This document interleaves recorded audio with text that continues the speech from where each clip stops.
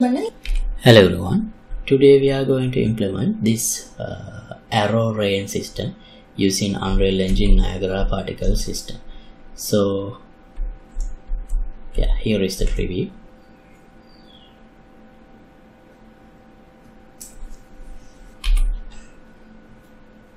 Okay, so uh, this is a simple level I have created in Unreal Engine 5. Actually, I haven't created anything. It's just the uh, default open world map with the third person character.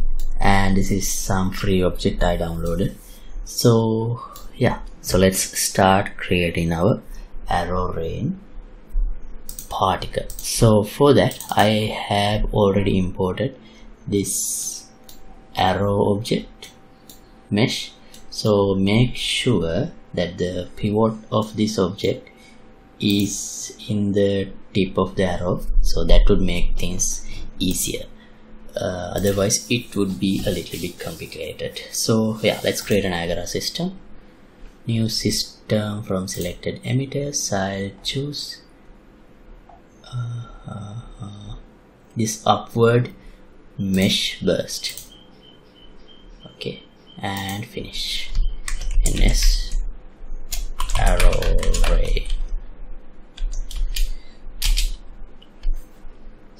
so yeah. By default we have this arrow object but I'm gonna change it to under meshes. This is the object. So I'm gonna change it to the arrow object. This one I have already imported. Right. So this is what we get. And I'm gonna disable this scale mesh size module because we don't need to scale it we only need to we need to have a constant size. And uh, uh, here let's have a bit larger uh, lifetimes like something in between 9 and 11 the reason is uh, because uh, these arrows has to fly a longer distance so they need to have a higher lifetime. And at velocity in cone. So uh, let's first put this in our level to get the feeling of the scale.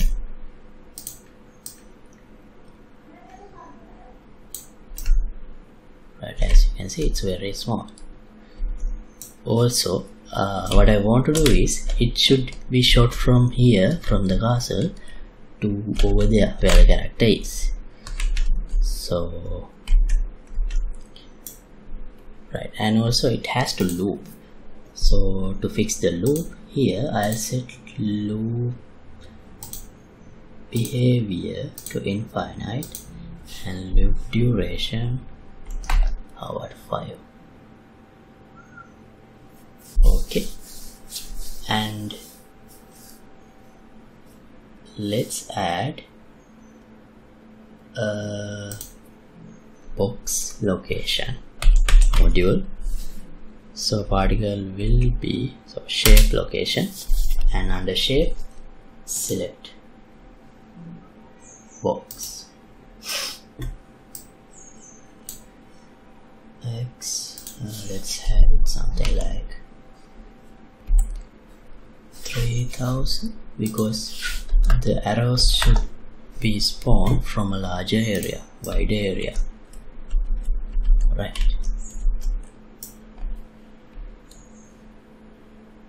And they should act more like arrows. This is like flying away. So I'll set the velocity cone to x also 1 so this will be shot in a angle with 45 degrees. So cone angle let's uh, reduce this to 20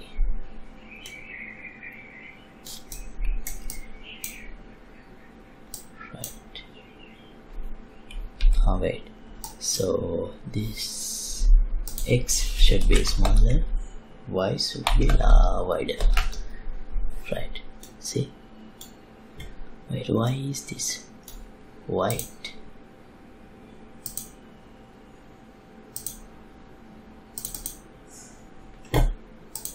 Doesn't material apply to automatically right. Okay. So we don't have to override the material. Okay. Now we have the arrows. Great. So they should have gravity and they should have much higher speed. So let's first add gravity. No speed. Something like 3000 or 2900 3100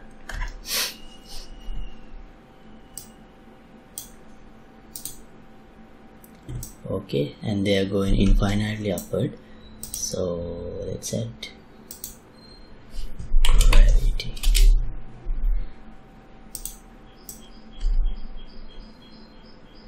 now you can see they drop here. See? But they don't uh, stop on the ground they keep penetrating. So yeah first let's increase this rate. How about 100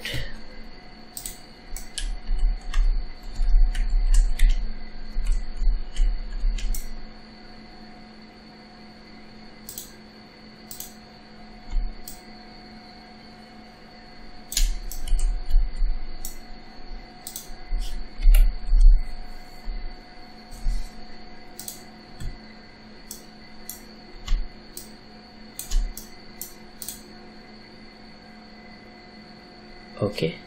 And actually uh, the arrow should not have this much of a higher variation in scale. So let's set it something like well they no, don't need to have a scale variation at all. So let's set it to 1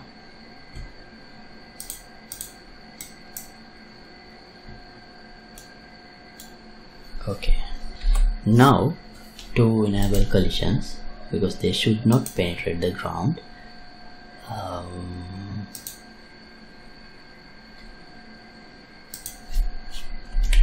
let's add a collision module.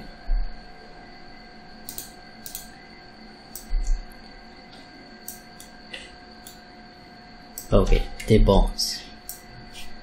They don't need to bounce see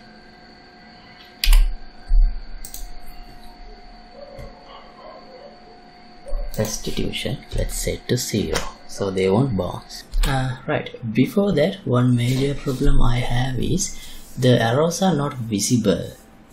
Uh, actually the reason is I think anti-aliasing. Uh, but we may have to do some trick to avoid that. Maybe just temporarily scaling up. Other other than that I don't see any solution to make them visible.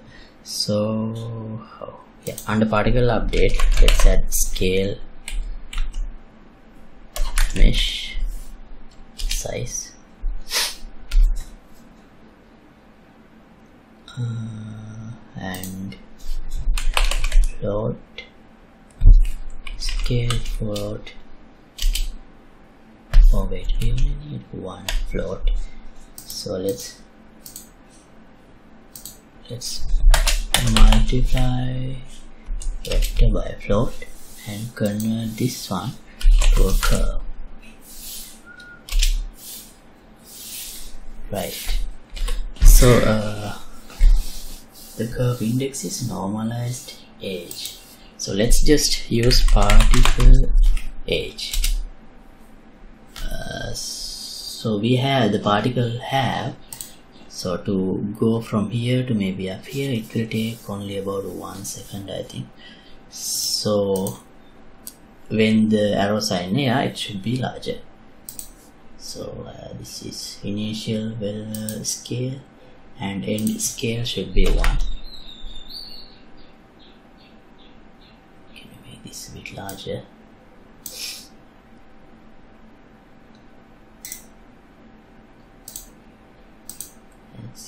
this one. Maybe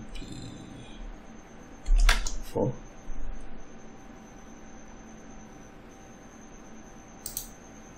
Right. This is point five. This is zero. Here let's make the scale 10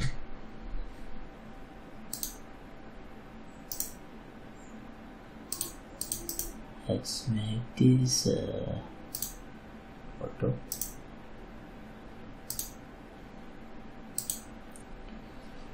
Right let's see how it looks. See now it is visible in the distance. Uh, but it's not visible enough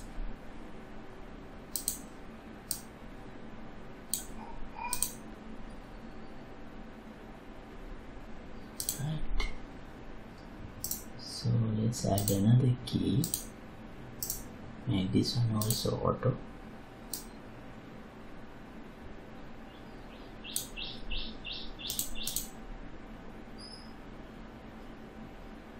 Right that seems uh, good enough.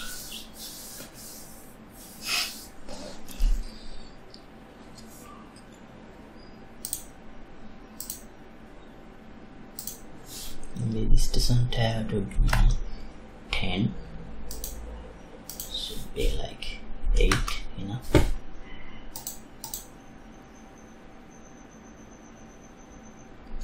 Right.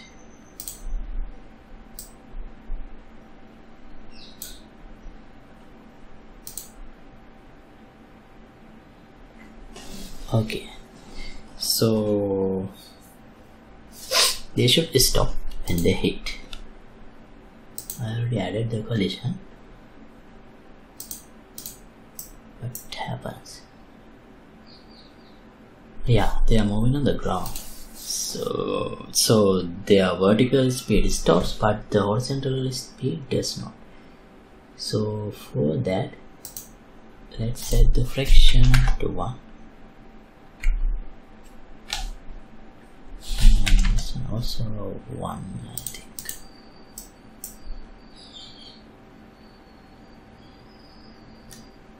oh wait. Alright they are stopped but they are inside the ground.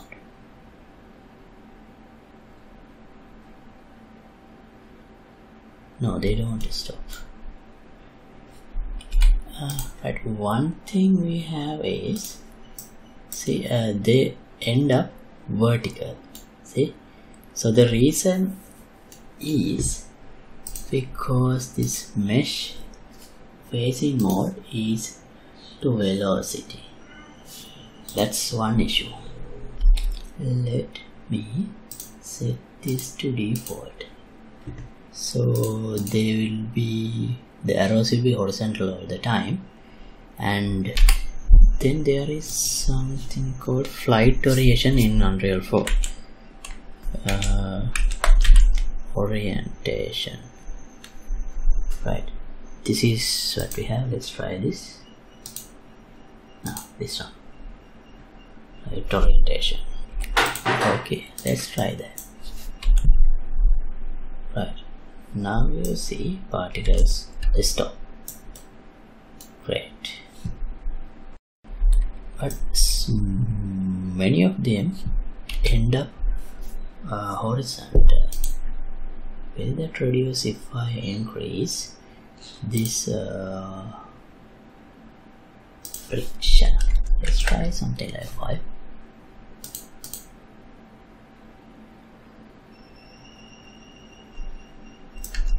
yeah seems so.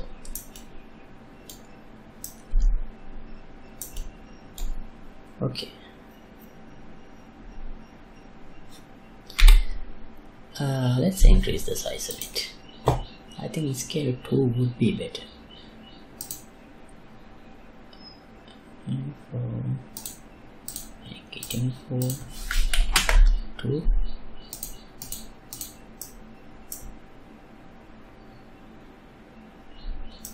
oh.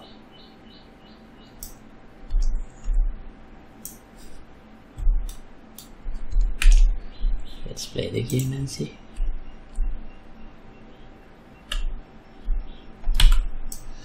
Actually now that I have used two I have to adjust this one also. The mesh size. Or maybe we can adjust the scale from here. And keep the initial scale at 1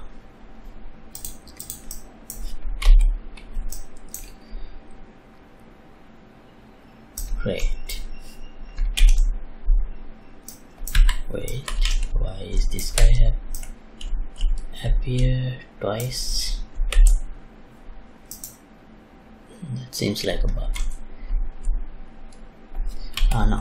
Maybe let's remove this game mode. Oh now we have this sphere. But it only appears in the location where we start playing. So yeah over there okay so here is our arrow rain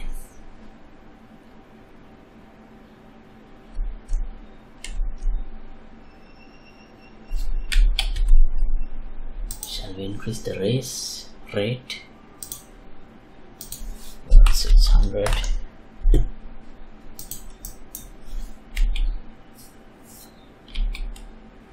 okay so i'm going to stop this episode right here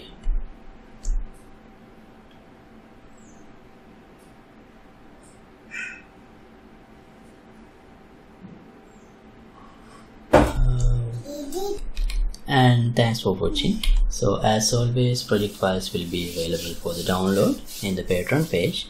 Link would be in the description below. And if you like to support my work you can get the membership of the patreon. See you in another episode. Next time i wish to implement a fire arrow system by extending the same particle effect.